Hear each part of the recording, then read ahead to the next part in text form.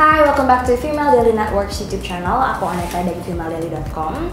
Kembali hari ini aku mau ngomongin sesuatu yang uh, hijab beauty related, yaitu aku mau ngomongin soal masalah rambut hijabers alias hair issues. Kenapa sih kayaknya kok kita tuh lebih rentan terkena masalah-masalah rambut? Contohnya kayak lebih gampang gatel, lebih cepat lepek, atau bahkan mungkin yang lebih parah tuh kayak berketombe sampai juga rambut rontok gitu. Apakah simply gara-gara rambut kita ditutup hijab, kita jadi lebih rentan kena hair hair issues tersebut?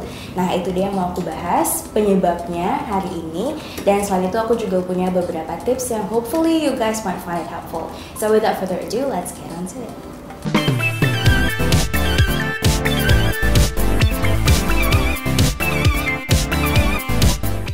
Oke, okay, hijabers hair issues. Ini agak beda menurut aku dari beberapa beauty issues yang lainnya karena kebanyakan beauty issues tuh penyebabnya biasanya ada penyebab internal dan juga penyebab eksternal. Misalnya kayak jerawat itu ada faktor internal kayak faktor genetis, terus juga hormon, terus faktor eksternalnya kayak debu, terus stres karena polusi dan lain-lain. Nah, in this case dalam soal hair issues hijabers, sebenarnya yang lebih berperan itu adalah faktor eksternal apa aja. Nah ini insightnya aku dapat dari ngobrol dengan dokter kulit yang pastinya dia juga menguasai soal uh, daerah sekitar rambut, which is kan sebenarnya hair issues itu akarnya ada pori-pori di kulit kepala, jadi masih uh, hubungannya dengan kulit gitu. Yang pertama adalah faktor cuaca di awal-awal mikirin soal hair issues hijaber kayaknya nggak bakal kepikiran ya. Ah cuaca bisa ngaruh kayak rambutku cepat lepek, cepat rontok dan sebagainya. Tapi sebenarnya ini justru adalah faktor utama. Jadi penjelasannya tuh gini nggak usah pakai hijab orang-orang Indonesia atau yang tinggal di negara iklim tropis udah gampang banget kan sebenarnya rambutnya lepek, berminyak, berketombe dan sebagainya apalagi ditutup sama hijab gitu Perbandingannya gini, ini contoh yang bagus banget sih menurut aku. Mungkin kita pernah lihat orang-orang yang tinggal di daerah Timur Tengah. Jadi mereka sering pakai baju yang semakin gelap, semakin bagus, semakin tebal, semakin bagus. Bahkan gak cuma cewek yang berhijab, tapi cowok-cowok juga bisa pakai kain dililit di kepala untuk nahan panas. Tapi kalau di daerah Timur Tengah itu bisa jadi memang panas banget, panasnya tuh bener-bener nyengat di kulit, tapi udara mereka nggak lembab jadi mereka sama sekali nggak masalah satu badan itu ditutup kain sedangkan kita pakai hijab aja yang tipis nggak usah warnanya terlalu hitam atau gelap gelap-gelap seratnya gitu ya itu udah bisa menimbulkan banyak banget masalah rambut. Jadi itu dia faktor yang pertama karena udara atau iklim tropis yang lembab yang bikin masalah rambut itu jadi semakin parah atau semakin mudah munculnya. Jadi menghadapi udara yang lembab dan juga ditambah lagi dengan tertutup hijab muncullah masalah-masalah rambut yang e, dimulai dari lembabnya udara di sekitar kulit kepala tersebut. Itu dia faktor yang pertama. Nah, faktor yang kedua adalah kurangnya suplai oksigen ke area rambut. Jadi sama aja kayak badan kita kalau kita gak napas kita jadi lemah kan gitu gak bisa berfungsi dengan semestinya sama juga dengan area rambut dan kulit kepala kita karena tertutup hijab sirkulasi oksigen dari luar itu terbatas banget masuk ke bawah hijab jadinya rambut kita ikutan jadi lemah muncullah masalah-masalah kayak rambutnya gampang patah rambutnya gampang rontok dan intinya rambut jadi lemah jadi itu dia dua faktor eksternal yang sebenarnya berperan bikin hijabers itu kok tampaknya lebih rentan terkena hair issues. Jadi kita bisanya mentweak kebiasaan hair care kita dan juga pemakaian hijabnya.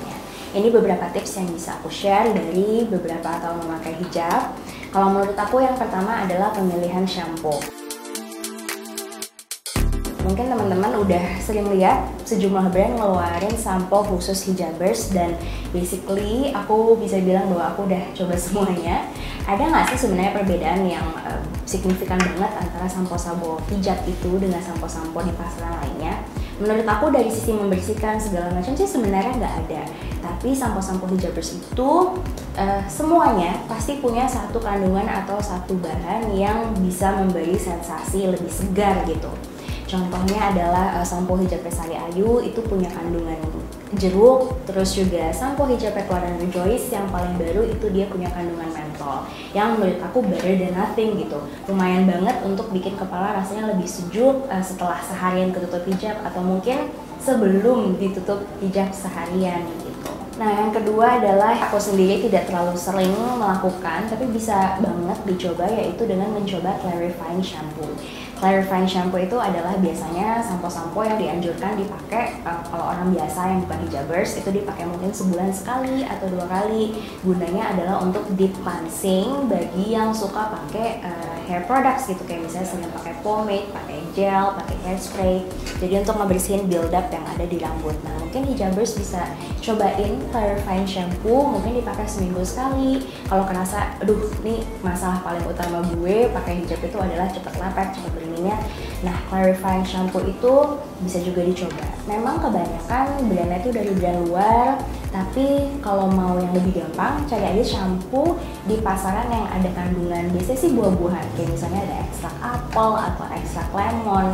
Karena buah itu sifatnya sedikit acidic, dia bisa berfungsi seperti astringent layaknya toner untuk kulit. Nah, itu dia bisa membantu untuk mengangkat minyak berlebih yang ada di kulit kepala. Tips yang kedua adalah hijab yang kita pakai sendiri.